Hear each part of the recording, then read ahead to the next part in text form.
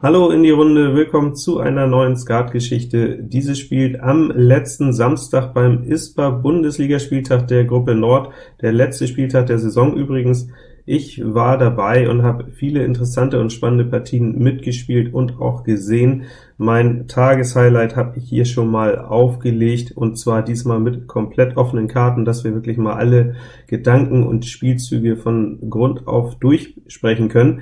Sehr interessante Partie. Hinterhand hatte ein sehr starkes Spiel. Kreuz mit 2, 6 Trumpf, mit Pik Ass 10 Dame an der Seite. Was er natürlich noch nicht wusste, war, dass er sich hier gegen fünf Trümpfe verteidigen musste und auch nur einen Pik, also ob er dieses Spiel wohl irgendwie gewinnen konnte?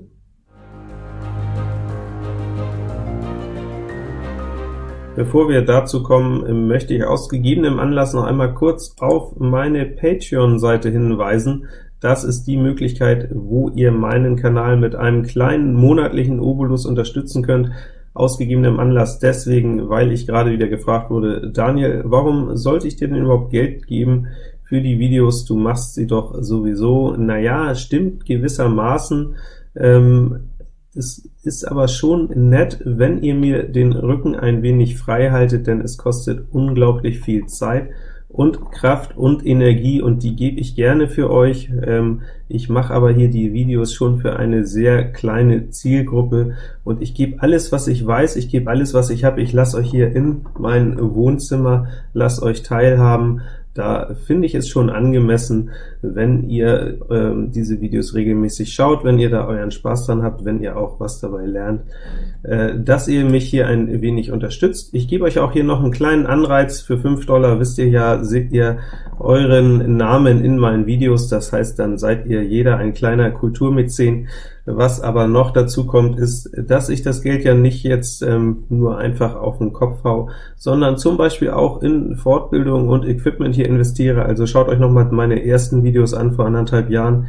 Das ist kein Wiedererkennen, das heißt, die Qualität steigt auch und dann habe ich hier auch noch Ziele definiert. Also im Moment habe ich 21 Unterstützer. Bei 25 Unterstützern werde ich mir ein neues, besseres Mikrofon leisten, das Blue Yeti USB Mikrofon, das eine sehr gute Bewertung hat. Dann sollte sich die Soundqualität nochmal verbessern. Also nur noch vier Unterstützer, da könnt ihr dabei sein. Helft doch mal mit. Und das nächste Ziel bei 50 Unterstützern, das müsste doch auch machbar sein bei über dreieinhalbtausend Abonnenten. Dann werde ich mal meinen in die Jahre gekommenen Monitor austauschen, der hier immer rumzickt, dann kann die Videoqualität auch noch besser werden und vor allen Dingen die Herstellung der Videos wird dann für mich ein wenig einfacher und ähm, ja, so haben wir hoffentlich dann alle was davon. Das also dazu, warum solltet ihr mich hier auf Patreon unterstützen? Ja, einfach, weil ihr es könnt und weil wir alle was davon haben. Dann kommen wir jetzt mal zu der anvisierten Partie. Ich hatte das Spiel gegeben. Es war übrigens auch eine ziemlich starke Gruppe. In Vorhand saß Heinz Lang von den Elbeassen, in Hinterhand äh, Gerd Wolter von Winsen, beides äh, Hamburger Urgesteine der Skat-Szene, sehr erfahrene und starke Spieler. Den jungen Mann in Mittelhand, den kannte ich noch nicht so gut. So, Heinz hatte jetzt äh, das Ausspiel, er spielt gegen den Kreuz, wo er sicher große Hoffnung hat, mit gar keinem Trumpf und drei Vollen. Wie soll er nun das Spiel eröffnen? Karo Fünferlänge sicher nicht so eine gute Idee. Entweder er verbrennt da einen Trumpf Vollen unnötig oder erlaubt einen günstigen Abwurf.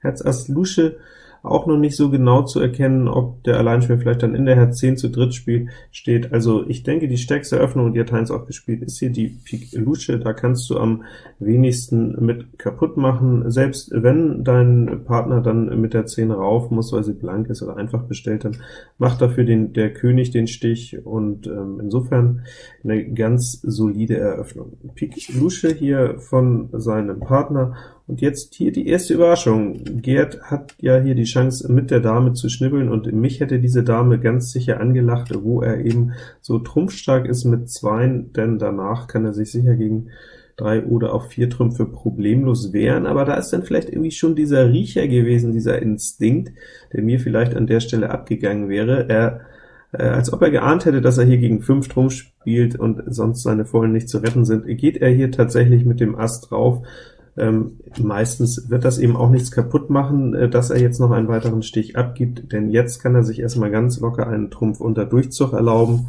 und wenn da er dann in Mittelhand eben käme, wenn dann von hier Pik König käme, ja, dann ist die Dame auch hoch und hinten wird ein Trumpf verstochen, ähm, also alles halb so wild. Jetzt gab es natürlich das böse Über äh, Erwachen, denn es war gar kein Trumpf hier und es wurde direkt das Karo Ass geschmiert. Natürlich Mitnahme Trumpf Ass, die ersten 22 Augen sind im Sack, und der Spieler jetzt hier muss natürlich das Spiel fortsetzen. Die Spieleröffnung, wenn man so will, ist ja schon abgeschlossen, denn er hat schon sehr viel Informationen, er kennt schon den Sechstrümpfer mit dem Pik Ass, er weiß, dass Karo Ass bei seinem Partner ist. Äh, nichtsdestotrotz, er muss jetzt eine Fortsetzung finden, und ich denke, Karo König ist hier die offensichtliche Fortsetzung, wo das Karo Ass gefallen ist, da kann er ruhig dem Spieler erlauben, im Zweifel einmal einzustechen und äh, den Trumpfgleichstand zu erreichen. Er hat trotzdem mutmaßlich noch die beiden Trumpfstiche im Blatt, gerade wo er eben auch Pik stechen kann. Wäre das kein Problem, äh, Herz zu öffnen? Gut, kannst du auch spielen, du weißt aber natürlich noch nicht genau, ob der Alleinspieler vielleicht neben dem blanken Pik Ass einen Drilling in Herz hat mit dem Ass. Da gibst du ihm dann gegebenenfalls unnötig die Chance zu schnippeln. Ja, der Spieler entschied sich jetzt aber doch für Herz, und gut, im Nachhinein sieht das nun zumindest ein bisschen dusselig aus, dass er nun gerade auf dieser einen Fehlkarte, die äh, Gerd mitbedienen muss, seine niedrigste Karte gespielt hat, also nur eine Lusche, nicht mal das Bild. Klar, mit offenen Karten hätte er auch die 10 auf den Tisch ballern können, aber das ist natürlich nicht der Fall. So, in Hinterhand Heinz nahm raus das Herz Ass, das ist sicher absolut korrekt, nicht auf den eigenen Mann schnibbeln, schon gar nicht, wenn du selbst keinen Trumpf hast und der Volle dann da brennt. Und jetzt hat er eben mit der Herz 7 auch ein gutes Nachspiel.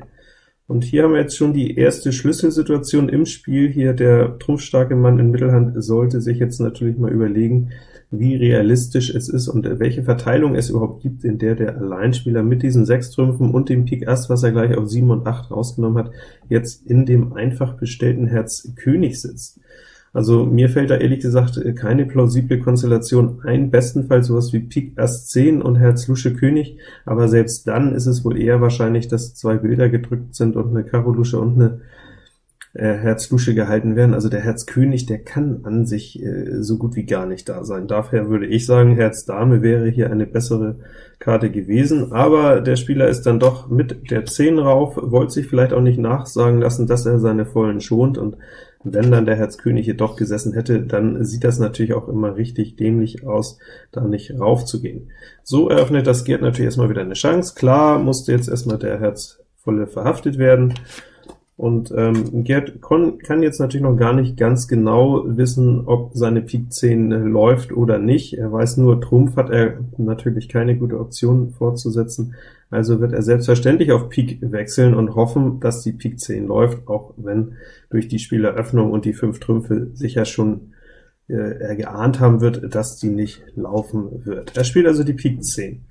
Und äh, hier hat jetzt Heinz eine ganz interessante Option. Nachdem die Herz 10 jetzt weg war und sein Partner gar keinen vollen mehr haben kann, sollte er hier erkennen oder könnte er erkennen, dass der entscheidende Volle oder der letzte Volle, den er jetzt noch beeinflussen kann, hier die Karo 10 ist. Den gilt es auf einen Trumpfstich des Partners unterzubringen, und um das zu schaffen, äh, wäre es hier eine sehr gute Wahl gewesen, sage ich mal, diesen eigenen Stich Pik König aufzugeben. Auch im Wissen, dass hier die Dame sitzt, äh, hier Pik König legen und dann auf den nachgespielten Herz oder nachgespielten Trumpf die Pik Lusche abtragen, dann hätte er mit Sicherheit auf die Pik äh, Dame die Karo 10 versenken können und damit das Spiel auch entschieden. Da muss man allerdings sagen, das ist natürlich ein sehr äh, präziser, sehr äh, genauer Zug, auf den nun ganz wenig Skatspieler überhaupt kommen werden. Ähm, Heinz hat es hier auch nicht gespielt, er hat hier die Pik 9 gelegt, und das war quasi der vorletzte Fehler in diesem Spiel. Den letzten hat jetzt hier der Spieler in Mittelhand wieder gemacht, und zwar einen ganz typischen Fehler, den ich durch die Bank äh, bei Neulingen und auch bei erfahrenen Spielern sehe.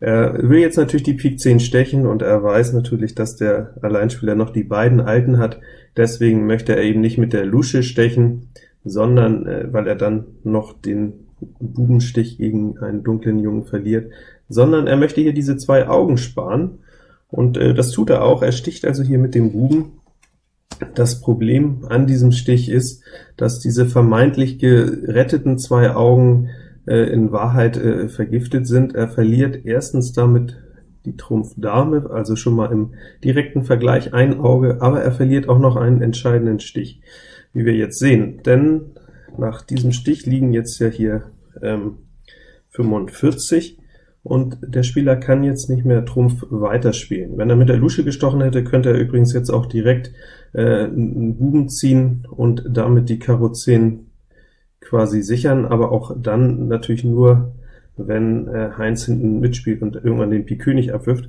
So kann er jetzt hier nur eine Fehlfarbe weiterspielen. Der korrekte Zug wäre übrigens jetzt hier die Herz Dame gewesen, ähm, denn damit kann in Hinterhand Heinz nochmal abschmeißen. Dann wäre tatsächlich noch eine Möglichkeit gewesen, dass Heinz auf, den auf die eingestochene Herz Dame seinen Pik König fallen lässt und bei 45 kann dann immer noch der letzte Stich sein, Pik Dame Karo 10 Bube auf 60. Es wurde jetzt aber hier der Karo König gespielt und der lässt jetzt keine Chance mehr, das äh, Spiel zu gewinnen. Denn jetzt muss Heinz natürlich hier bedienen und Gerd wird natürlich den Teufel tun, jetzt Trumpf zu ziehen, beziehungsweise einmal von oben könnte er sich theoretisch sogar erlauben, Nein, kann er eben nicht, denn dann gäbe er Heinz nochmal die Möglichkeit, den Pik König abzuwerfen. Er spielt jetzt also direkt die Pik Dame raus. Pik Dame, Pik König und ja, 55, äh, 45 liegen und die höchste C-Karte, die jetzt der Spieler hier zugeben kann, ist die Herz Dame auf 55 und jetzt haben wir eben das Problem, dass Gerd bewusst oder unbewusst, ein bisschen zufällig auch vom Verlauf, hinten in der Trumpfgabel sitzt und alle Reststiche macht, das heißt das Spiel mit 65 Augen gewinnt. Wenn der Spieler hier jetzt eben vorher diesen Stich nur mit der Lusche gestochen hätte, statt mit dem Buben, dann läge jetzt dieses Endspiel, Sie hätten zwei Augen weniger, also nur 53. Dafür werden Sie aber jetzt noch einen Stich machen, in dem mindestens der Bube und die Kreuz Dame reingeht, und sofern hier noch zwei Zählkarten äh, bei Heinz in Vorhand sitzen. Sobald also eine Karo Lusche gedrückt ist und nicht Karo 10 oder Dame, hätten sie das Spiel eben gewinnen können mit folgendem Zwischenzug. Da hätte Gerd sich dann nicht gegen wehren können.